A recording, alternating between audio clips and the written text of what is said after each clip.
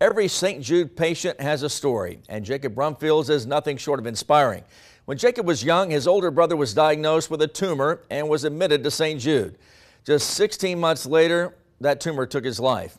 And then a year after his brother's passing, Jacob was diagnosed with his own brain tumor at age 18, and he was admitted to St. Jude. After a successful brain surgery, Jacob was deemed tumor free, and he now hopes that the research St. Jude does can help save another kid's life. To think that, you know, a vial of blood that I give, or, you know, a piece of my tumor sitting in a tumor bank somewhere, to think that that could be used to help somebody find treatment. I mean, you can have all my blood you want. To help the kids of St. Jude from Northeast Kansas, you can buy a ticket or multiple tickets for the Topeka St. Jude Dream Home. It's a brand new home in Southwest Topeka, and the proceeds of all tickets bought go directly to St. Jude and their mission. You can visit our website at ksnt.com for more information on how to get your tickets now.